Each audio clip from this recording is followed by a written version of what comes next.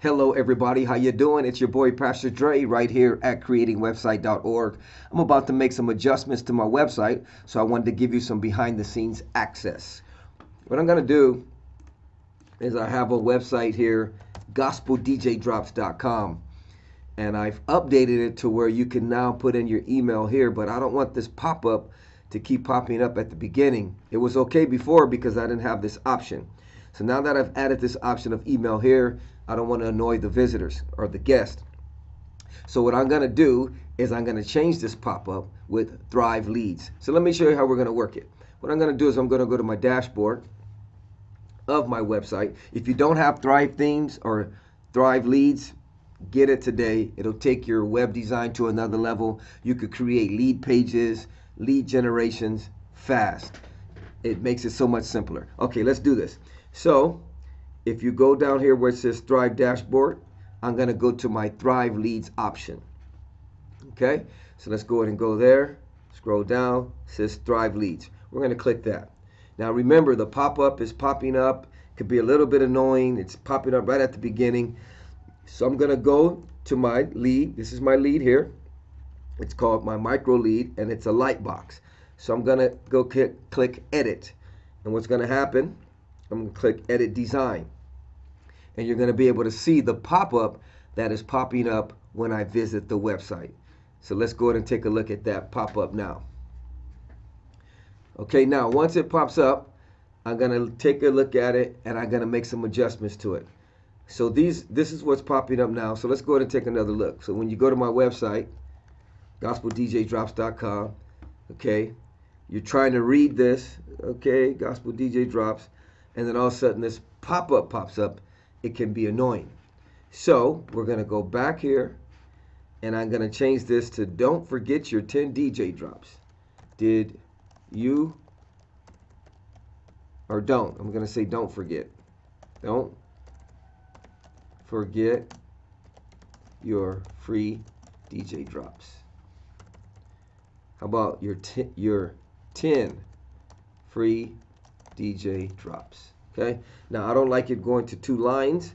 So what we're going to do, we're going to come here and we're going to change the size of the font. There we go. Make it one more. Boom. And we're going to center it. And it's already bolded. Okay. Don't forget your 10 free DJ drops. And then we're going to hit save. Now they have an option to say, no, I don't need any DJ drops. I'm satisfied with the ones I have. Yes, send me the 10 free DJ drops. I want to take my station to another level. Now, what happens when they click here, you have different scenes. Okay, so you have state one. This is this is your default state. State one is it's gonna go to the other option of nice. Your DJ drops are fresh. Would you like to stay updated on our specials, new releases, and discounts? So that's if they select no, I don't want any DJ drops. And state two is if they select they want DJ drops, what email should we send the DJ drops to? Now, how do you work all this? Let me show you really quick. So you go to default state, right? Okay, and you have state one and state two. When you click this box, it gives you an option. If you scroll down where it says animation in action, you could tell it to click when they on the click, it'll switch states. See that there? So you can edit it. So I want to go to state one when they click this box, which is going to say okay, your DJ drops refresh. Now, when they click box two, you also have another state, and that's going to switch state, and it's going to go to state two. Pretty cool, huh? I'm telling you, with Thrive Leads, it's amazing. All right, so this box takes them to state one. This box takes, takes them to state two, and this is your default state. So now what I want, I'm going to save this. So now let's go visit Gospel DJ Drops one more time. Okay and it's loading the web page up. So right now, we're going to go change how often this pop-up appears. Right, have, right now we have it every day and displaying immediately. But I want to change that to when they're getting ready to leave the page. Because look, this is how it looks. If you're visiting my site, let's just say zero so I can make it pop up. If you're visiting the site, right, you go there, you're excited about visiting the site. All of a sudden, you're reading this stuff on the left all right, and this annoying pop-up pops up. It's like, hold on, let me finish reading what I'm reading. So, and they're both asking for emails. So what I'm gonna do is I'm going to come here and I'm going to say I want this to display when they're getting ready to leave the page. So we're going to say show when users, let's see, boom. Show when the user clicks an element. Nope. Show when the user is about to exit the page. Yes. So there's different options you can choose for your pop-up pops up, page load after a certain amount of time, which is pretty cool. So we're going to choose show when the user is about to exit the page. And we're going to put smart exit. This loads up on iPhones and different devices. So we're going to save here.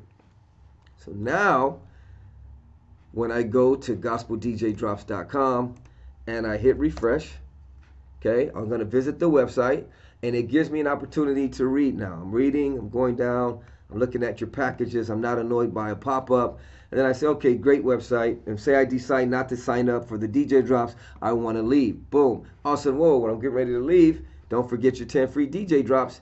These are high quality, professionally mixed DJ drops, $125 value. I think I'm going to make this a little bit bigger the font size. So if I say no, I don't want the DJ drops, stage one pops up. Nice, your DJ drops are fresh. If okay, now let's refresh so we can make the pop up pop up again. And I want to show you what happens when they click stage two or the option two. Yes, send me the DJ drops. It's going to take them to stage two. Pretty cool, huh?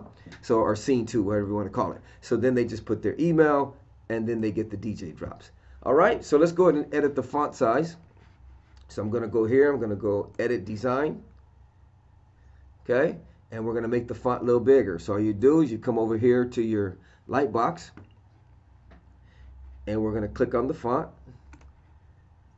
And let's see. These are 10 high quality professionally mixed DJ drops. So I'm going to make this go down to another line. So we can make it all bigger. Okay. Make it stand out. Boom.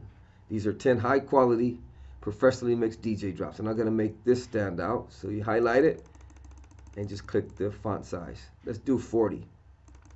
Make it stand out. Boom. Okay, and let's slide this up a little bit. It's too much space. So you click on your columns and you go to layout position and you slide it up. There we go. There it is. All right, so now we hit save. So now when we visit gospeldjdrops.com, we're scrolling the site Boom, boom, boom. All right. If I decide to leave, pop up hits me. Don't forget your 10 free DJ drops. These are high quality, professionally mixed DJ drops. All right. Hope this tutorial has helped you out. If you don't have Thrive Themes, Thrive Leads, Thrive Architect, get it today. I'll put a link in the video. If this video has helped you out, just hit it with a like or send a comment. If you have any questions, post them in the comment section. Your boy would love to help you out. Talk to you later.